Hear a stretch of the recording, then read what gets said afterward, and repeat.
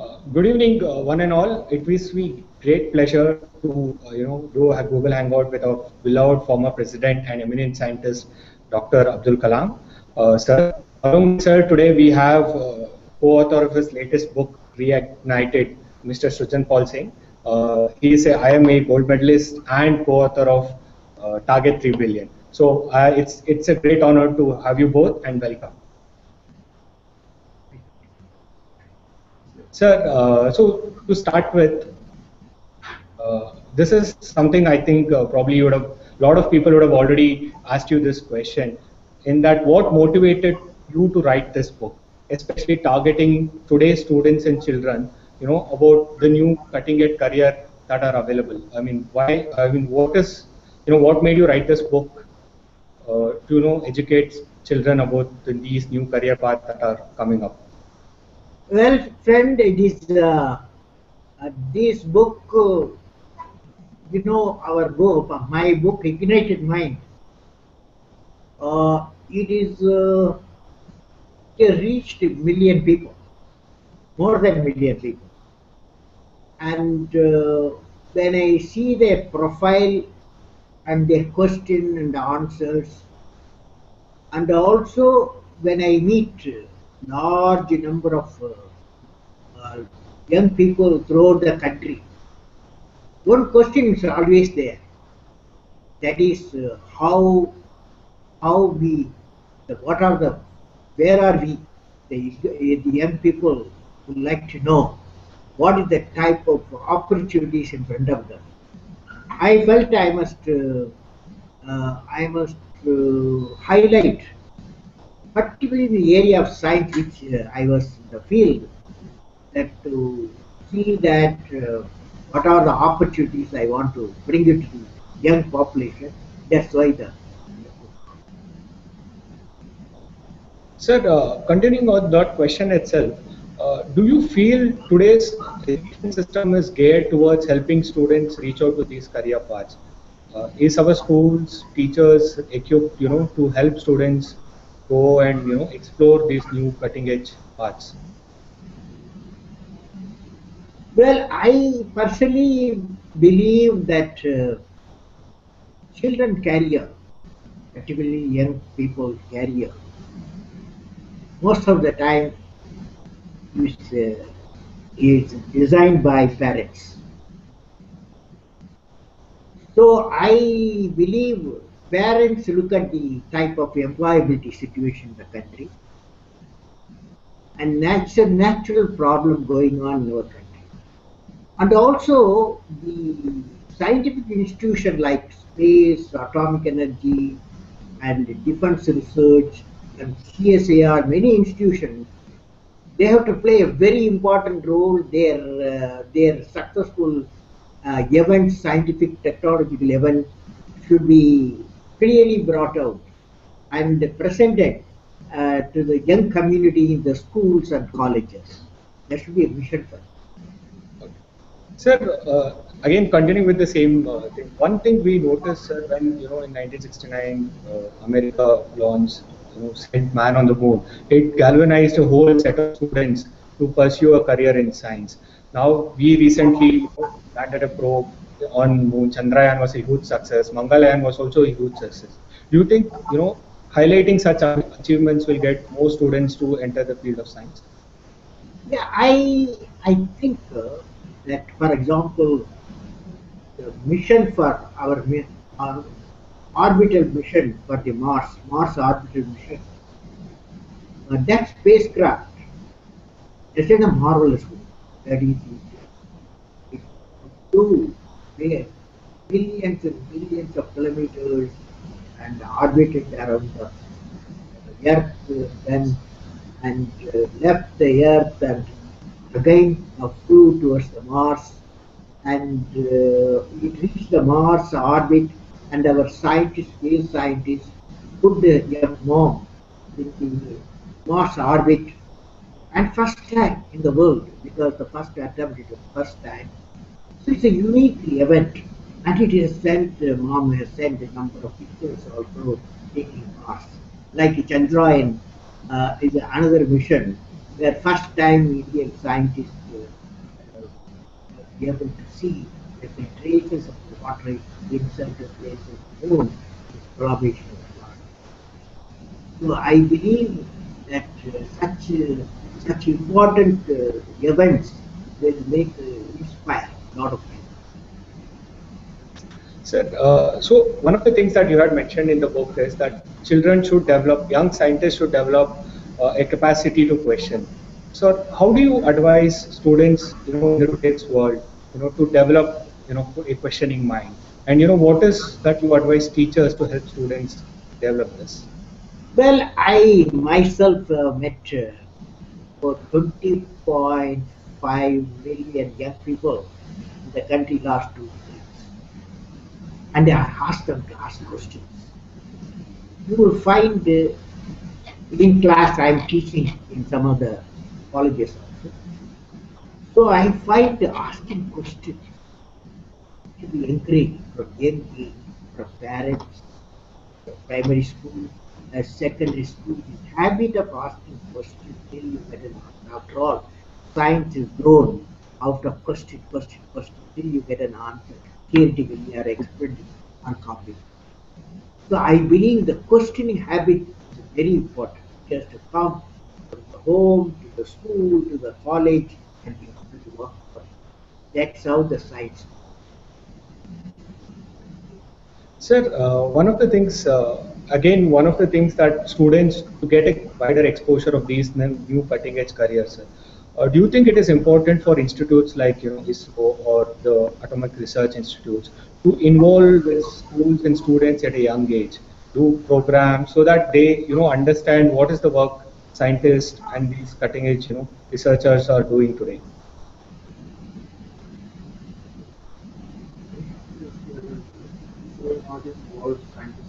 No, I believe uh, that uh, nowadays there is a program in ISRO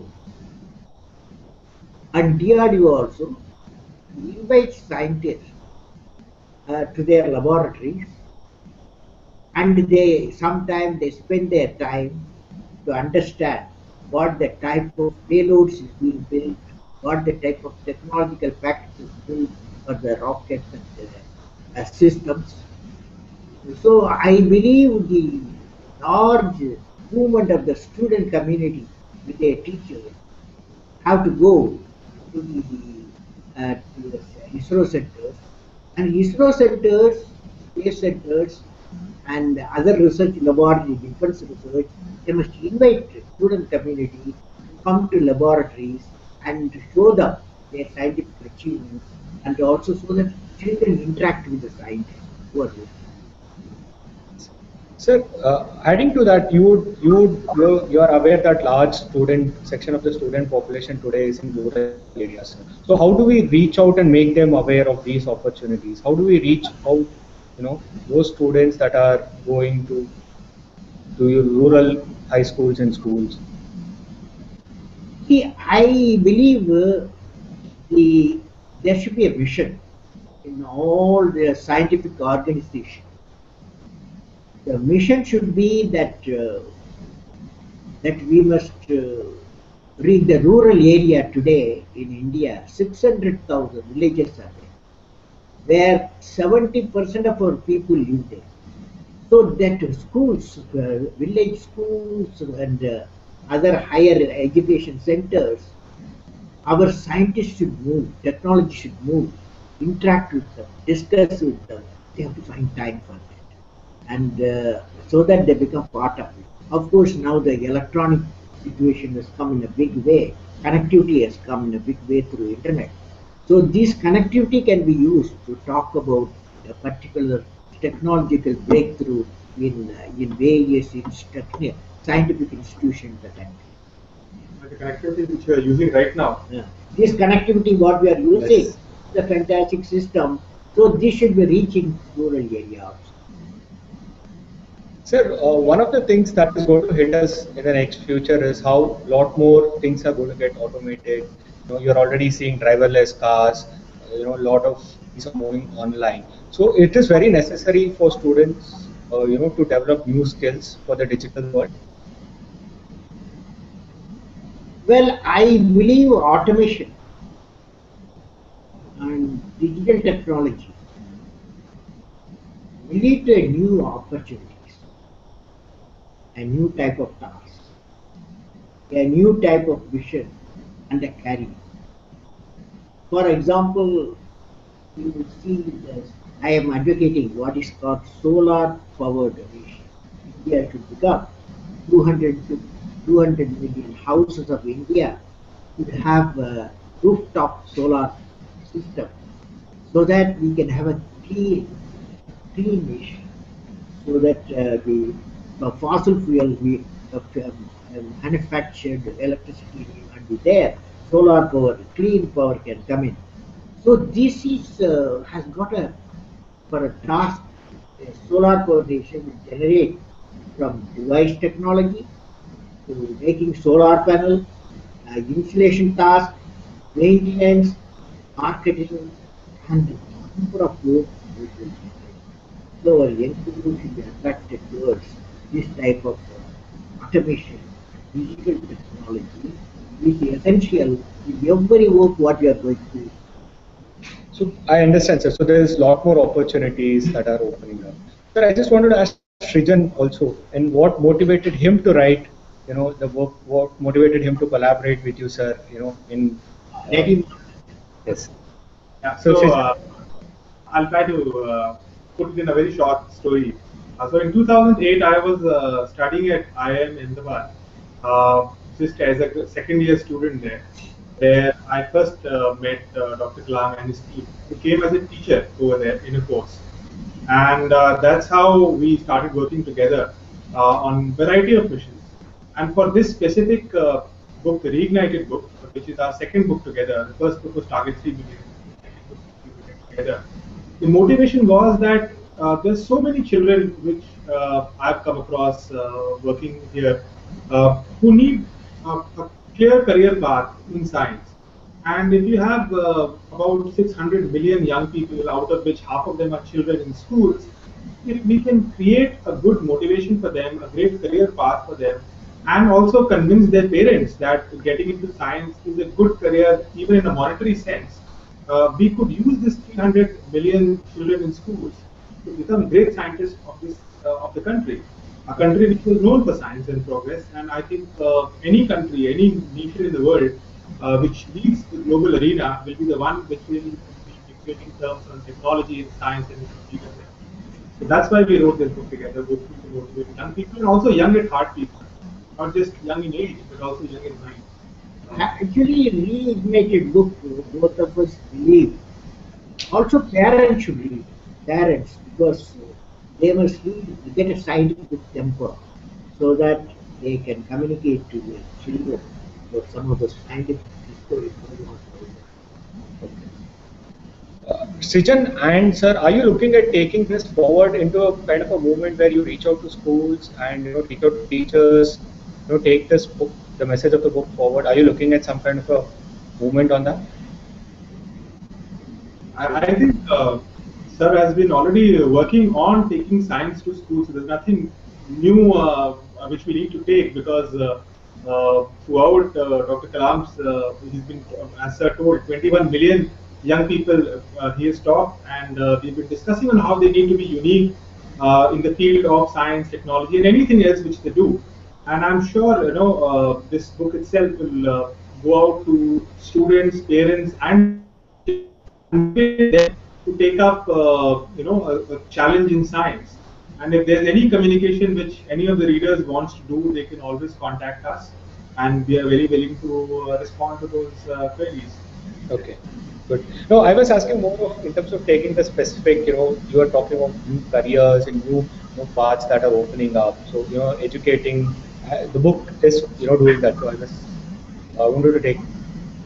So we do uh, visiting, and I keep visiting with him to a lot of schools uh, in urban, rural, government schools, private schools, schools in Jaunpur, in Barabanki, in Wayanad, uh, all those places, you know, where you mentioned about rural areas.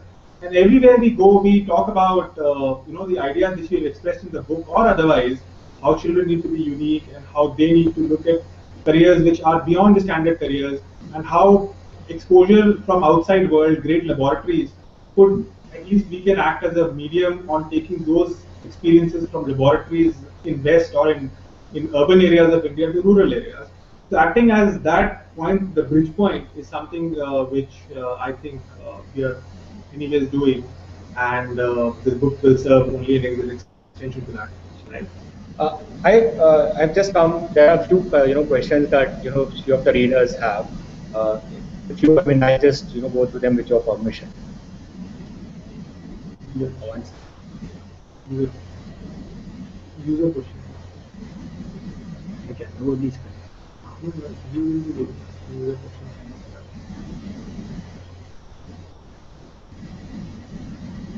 uh, just give me a second.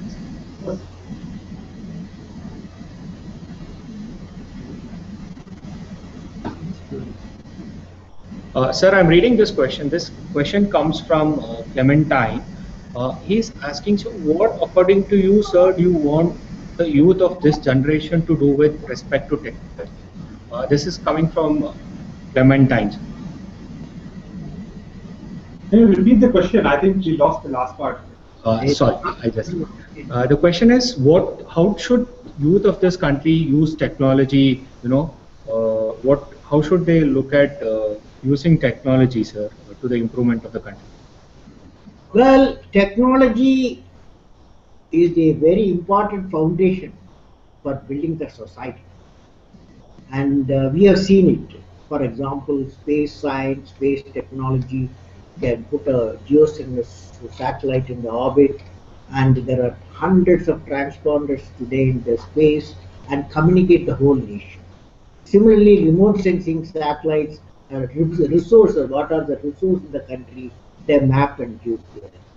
And it, for example, internet connects not only cities, sometimes the rural area, of course, it will be fast and very fast. And uh, and uh, a mobile telephone, one area has reached nearly 85 to 90 percent of the people in India, and that can be used as a medium, a medium of communication, great things, uh, great aspects, great things. Uh, and even the mobile telephone become an office or a laboratory, all opportunities. Sir, coming to the next question, uh, we have from Mr. Ankit Chawla. Uh, his question is, what do you think of India's nuclear power capabilities? Are we deficient or surplus in producing and providing nuclear power? Well, uh, my view is India is uh, has got a deterrent the deterrent, what is necessary, what is essential. Uh, definitely, India is has got a principle of no first.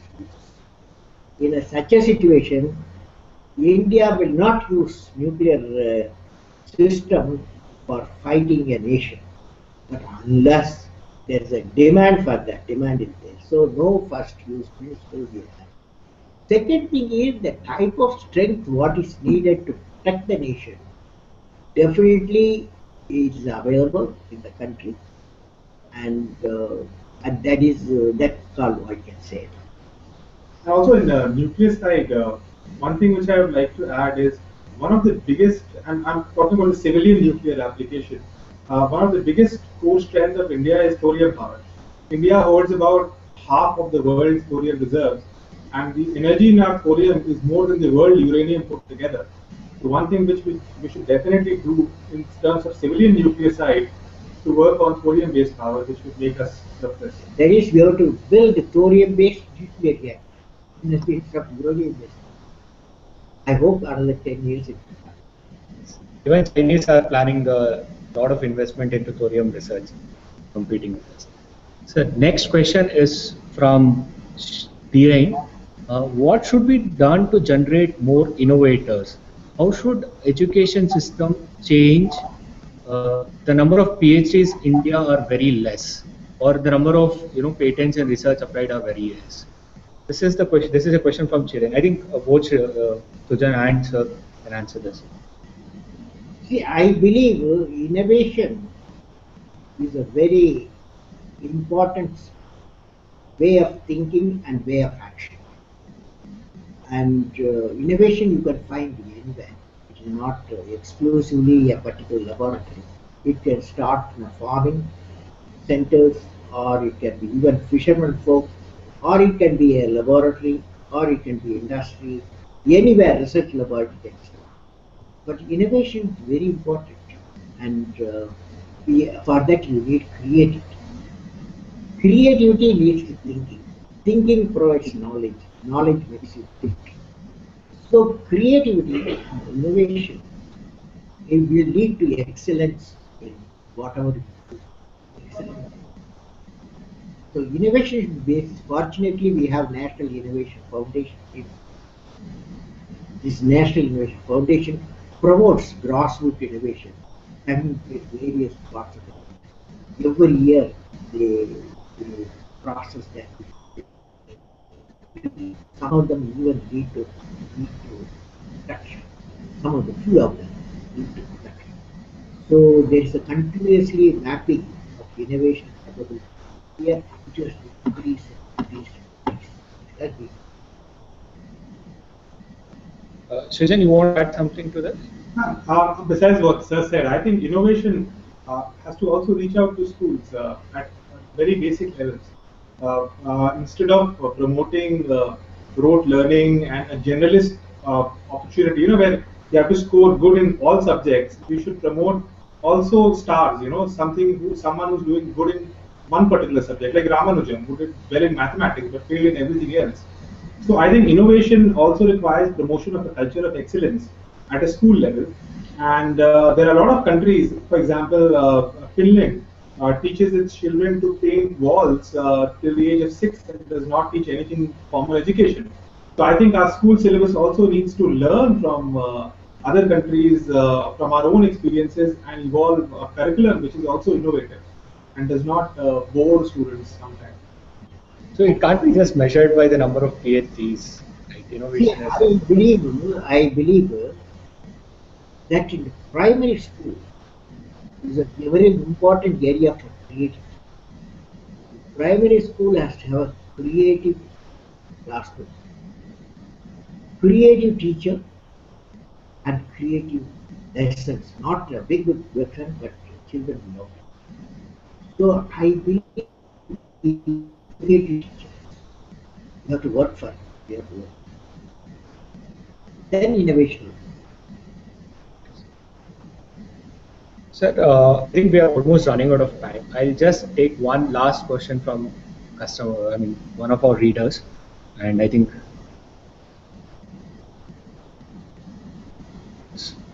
Sir, there is one question from Chaitanya, sir. Uh, Chaitanya is again asking with regard to the defense. Why are we still uh, importing weapons from foreign countries, and when will the capability to make our own weapons? I think. I believe, uh, see, I was nearly 20 years in that area of defense research and development. In certain area, we are self-reliant now. For example, missile and long-range missile, strategic missile, we are. Similarly, electronic warfare system also. But there's a many areas. There should be a mission. There should be a mission. Next 10-year mission we should have, so that many more areas we can bring in self. Sir, uh, I mean, a last question to both of you is uh, if you were to look back, you know, your career, you, know, you want to start again, which cutting edge career, you know, mentioned in the book that you would want to take? Well, I I have written my book, Ignite Your Mind, also Wings of Fire. When I was uh, young, 10 year fellow, I wanted to become a pilot. That too, fighter pilot, Air Force. Even though I was not selected in interview, but I started entering the technology which can design flight systems like uh, aircraft, aircraft target, fighter target, missiles, launch vehicles, and all I entered. Of when I became the president, I had an opportunity since I was a supreme commander for all three services. I asked for a training for how to fly. I was given a training. I flew SU-30 for a few minutes. I, uh, yeah, I'll tough question because all of those careers are so uh, good, so cool, and quite interrelated. But if I were to choose, I'll choose to be a robotist. I think that's the future. I like transformers, so I think I will design one. I think I can join you on that. So, uh, so I would like to thank both of you for you know joining us, and it was a great honor to speaking to both of you. Uh, thanks a lot. Very much. Wish you all the best, Prabhu. Thank you. Sir. Thank you. Sir.